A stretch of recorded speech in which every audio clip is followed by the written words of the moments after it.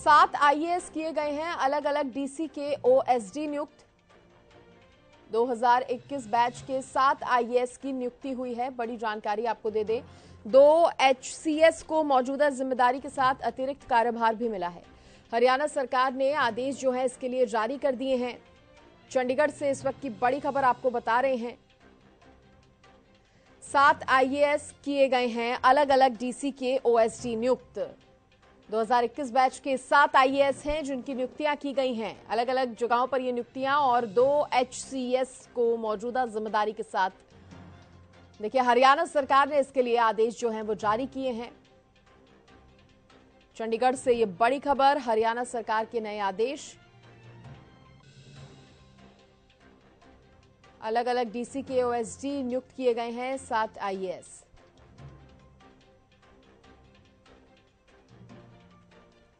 तो ये नियुक्तियाँ जिसको लेकर जानकारी सामने आई है और इस खबर पर ज़्यादा जानकारी देंगे मेरे सहयोगी रवि कालीरमन जुड़ गए हैं। रवि पूरी जानकारी दीजिए। बिल्कुल, सृष्टि देखिए, हरियाणा सरकार ने 2021 बैच के सात आईएएस अलग अलग जिलों में डीसी के हो तो ओएसडी जो है वो नियुक्त किए गए हैं। इनके साथ ही दो एससीएस को मौजूदा जिम्मेवारी के साथ अतिरिक्त कार्यभार जो है वो सौंपा है। जो तमाम जो नियुक्त किए गए आईएएस अधिकारी हैं, उनमें लक्षित शरीन है। नरेंद्र कुमार हैं, जो फरीदाबाद में ओएसडी उनको लगाया गया है। निशा हैं ओएसडी डिप्टी कमिश्नर पंचकुला, इनको नियुक्त किया गया है। और सोनू भट्ट हैं ओएसडी डिप्टी कमिश्नर जो है, इनको हिसार लगाया गया है। विश्वजीत चौधरी, आईएएस हैं, इनको ओएसडी डिप्टी कमिश्नर गुरुग्राम लगाया गया है। इसके साथ साथ Vivek Arya OSD deputy commissioner Rohtak और यश जलूखा ये ओएसडी डिप्टी कमिश्नर यमुनानगर ये सात जो है ओएसडी नियुक्त किए गए हैं।